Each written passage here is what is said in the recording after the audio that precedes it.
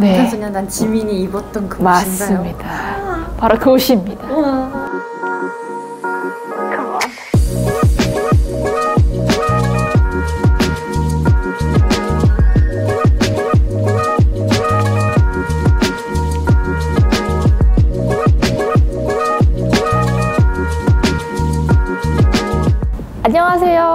저는 전주에서 한복을 만들고 있는 한복쟁이 황이슬이라고 하고요. 오늘 제가 입고 나온 이런 옷을 디자인하고 있습니다. 생활 한복은 생활에서 입는다 라는 뜻처럼 어, 예복이 아닌 일상 생활용으로 만들어진 한복이에요. 전통 한복은 실크나 좀 더 부피감이 있는 좀 이런 어, 고급 소재를 사용했다고 하면 생활 한복은 세탁기로도 빨 수 있고 그냥 물 세탁을 해도 되는 일상에 가까운 소재들을 썼다는 점이 차이가 있고요. 스타일도 자유롭게 할 수 있고 뭐 길이가 좀 짧다거나 뭐 입는 방식도 단추나 지퍼를 이용해서 쉽다거나 그래서 좀 더 편리하게 만들어졌다고 보시면 돼요. 저는 한복에 피를 타고났다. 아. 그러니까 한복을 제가 딱 너무 매력적이야 이 옷 하고 느끼게 된 게 스무 살 때였거든요. 대학 축제 때 코스튬 플레이를 다 같이 동기들과 함께 했거든요. 그때 제가 골랐던 옷이 한복이었는데 왜 제가 한복을 골랐는지는 잘 모르겠어요. 한복이 되게 예뻐 보였고 어, 저런 한복 내가 평소에 입어보지 못했는데 이번 기회를 통해서 좀 입어보고 싶어 이런 생각이 있었고 친구들의 반응이 너무 뜨거웠어요. 너딴 사람 같아 오늘.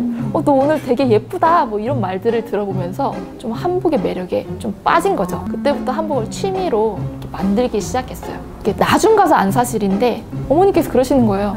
야, 너 뱃속에 있을 때 내가 한복 했었잖아. 어머니가 결혼하기 전에 한복 짓는 일을 하셨더라고요. 아, 그래서 내가 한복이 그렇게 무슨 DNA처럼 끌렸나? 뭐 이런 생각이 이거 유전이다. 어, 유전이다. 사무실에서 일을 하고 있는데 그냥 전화가 온 거예요. 협찬을 해주실 수 있나요? 누구시죠? 뭐 이렇게 했는데 신분을 밝히지 않고 굉장히 조심스럽고 아주 함구를 하시는 거예요. 한참을 뜸을 들이시다가 방탄소년단이에요. 이렇게 얘기하는 거예요. 소름이 돋았죠. 속으로는 엄청 소리를 크게 질렀는데 프로잖아요. 네. 아 그러세요? 네. 그러면은 제가 딱 떠오르는 옷몇 가지가 있는데 그 네. 디자인을 좀 이렇게 추천해봐 드려도 될까요? 이렇게 해서 이제 통화를 끊고 이제 연결을 해드렸고요. 사무실에 얘기했죠. 방금 누구한테 전화 왔는지 알아? 누군데요? 방탄소년단. 난리 났어요. 자기가 만든 디자인을 이런 멋진 아티스트들이 입는다는 거는 꿈 같은 일이거든요. 사실 아이돌이라고 하는 무대를 컴백 무대를 제가 봤을 때도 와 멋있다. 내가 혹시 이렇게 뭐 참여해볼 여지가 있다면 좋겠다라는 생각만 했지 현실이 될 거라고 생각을 못했죠. 방송을 딱 보는데 그 시상식 무대에서 딱 입고 등장을 하는 거예요. 막 소리를 질렀어요. 어, 그 무대는 전 세계 사람들이 다 보는 거잖아요. 수많은 외국인들이 그걸 보고 아 저런 게 한국의 부채춤이라는 거구나. 저게 사자탈이라는 거구나. 그런 걸 알 거 아니에요. 이건 정말 한국을 알리는 대단한 일이다라고 생각이 돼서 좀 한동안 어, 좋아서 좀 잠을 잘 못 들었던 것도 같아요. 저 사실 암이에요. 다 담겼어. 아 그래요?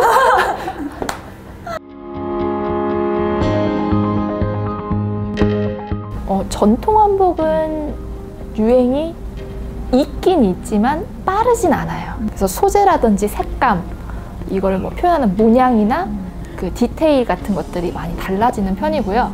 생활 한복은 그래도 생활 속에서 입다 보니까 전통 한복보다 좀 더 트렌드에 민감한 편이에요. 이 치마의 밑단을 보시면 프릴이 이게 네. 달려 있잖아요. 네. 지난 시즌에 밑단에 이렇게 셔링을 달아서 좀 더 이렇게 어, 퍼피한 느낌을 주는 이런 디자인이 또 유행이었거든요.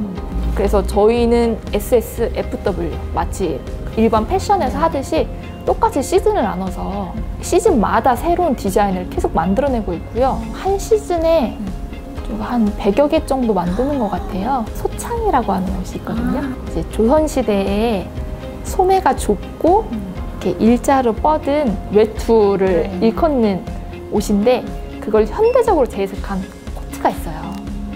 이 코트가 디자인이 좀 잘 됐다고 평가를 받아서 문화체육관광부에서 네. 예, 인정도 받았고 샤이니의 태민 씨가 또 아. 입어서 이슈도 탔었고 저도 많이 입는 옷이에요. 어. 제가 겨울에 맨날 맨날 입어요. 왜냐면 이 옷을 입고 나가면 다 예쁘다고 하거든요. 아, 현재 단계에서는 네. 다음 시즌 테마를 아미라고 정했거든요. 아 이번에 대치차를 봤는데 너무 네. 영감이 떠올라서. 가만히 있을 수가 없었어요. 전통 군인들이 입던 군복을 또 모티브로 해서 방탄소년단이 입는다면 이런 스타일을 입지 않을까 하는 약간 스트릿 느낌이랑 융합해서 짜고 있어요. 옷은 뭔가 DDP 앞이나 음, 뭐 이태원이나. 예, 뭐 홍대 거리에서 입을 법한 약간 음. 그런 느낌의 한복? 한복은 저의 밥이에요. 밥. 밥을 먹었을 때 기운이 나고 다음 일을 할 수 있는 힘을 주는 원천이잖아요. 한복은 저한테 그런 것 같아요. 하루에 그냥 온종일을 이거 없으면 안 되는 정도로 저는 한복에 정말 깊이 빠져서 살고 있고요. 한복으로 위안도 얻고 용기도 얻고 비타민 옷장을 샥 열었을 때 어, 오늘 뭐 입지? 하고 이제 고르잖아요. 보통은 뭐 오늘 뭐 티셔츠를 입을까, 뭐 블라우스를 입을까, 원피스를 입을까? 하는데 그 중에 하나로 오늘은 저고리를 입어볼까 이렇게 스며들어 갔으면 좋겠어요. 그냥 일상에서 자연스럽게 입을 수 있는 하나의 옷으로 인식이 됐으면 좋겠어요.